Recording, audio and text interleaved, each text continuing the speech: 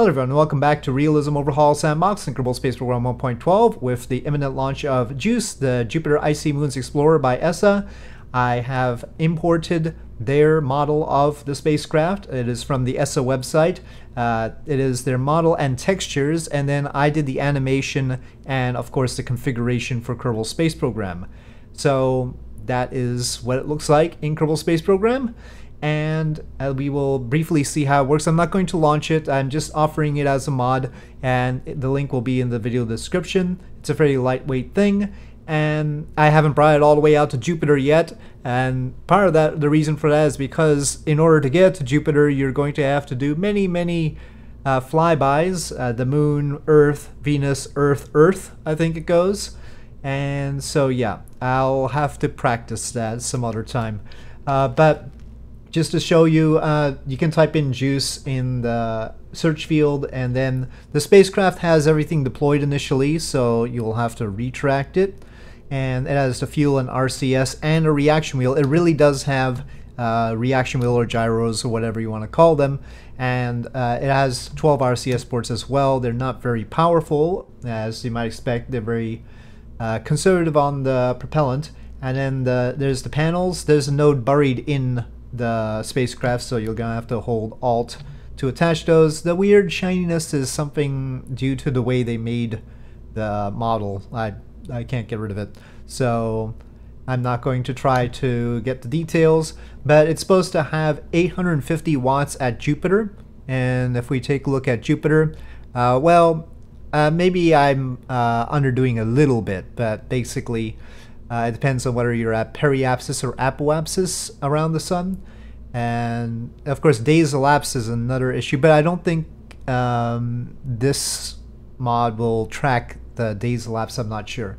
But anyway, that gives you an estimate there. The spacecraft itself doesn't consume that much. It's only 400 watts, so it should be able to handle it. It's just about right.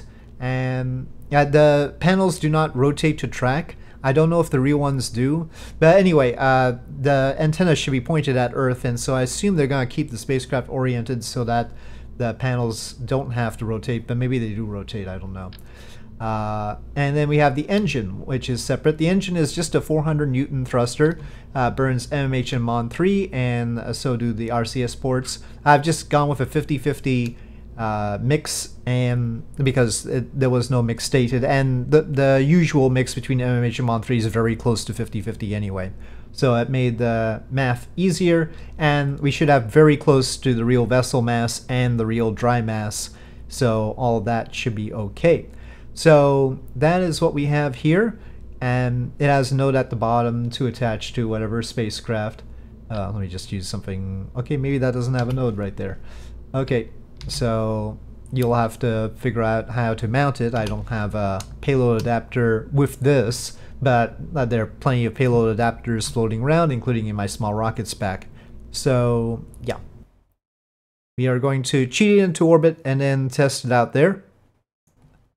Okay, so right now we should be drawing the full power, which is 400 watts, right? We saw that.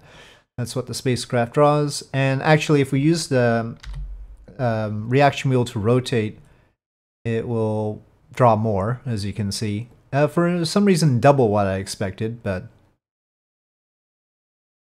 I thought it was only going to be 0.25. Anyway, let me extend the solar panels. Just, uh, I did the animation. I don't know if that's exactly how they would animate it. Here around Earth, of course, it's gonna recharge really, really quickly. It's got like 21 kilowatts. Uh, that's because the charge that gets around Jupiter will be 125th that. So yeah, we need it. So uh, RCS thrusters prograde. Oh, we have to stage. This realism overhaul. There are 12 RCS thrusters, and they're in sets of two. But partly it'll be relying on the gyros too.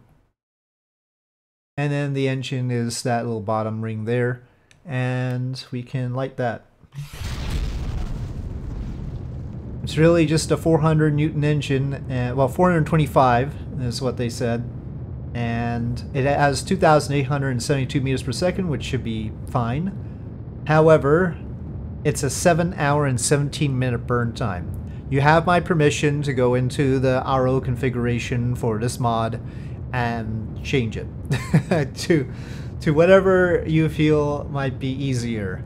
Or you could just take the engine off. One good thing about having the engine be a separate part is you can just replace it with some other MH and Mon 3 engine. Uh, it won't be exactly legit, uh, it might make your life easier since we can't really time warp through uh, burn like this. In I mean, of course, the phys warp, yes, but not the kind of time warp you'll want to do. So yeah, I mean, if you want to cut it down to 1 hour and 45 minutes, you might be able to with 4x phys warp, but still. So that is the juice, and I'll turn off the engine. And so with that, I'll link it in the video description. We didn't really burn much Delta V because it was so slow. But yeah, anyway, so with that, I'll say thank you for watching. I hope you enjoyed this video. If you did, please do press like. If you have any comments or suggestions, please leave them in the comment section below and I'll see you next time.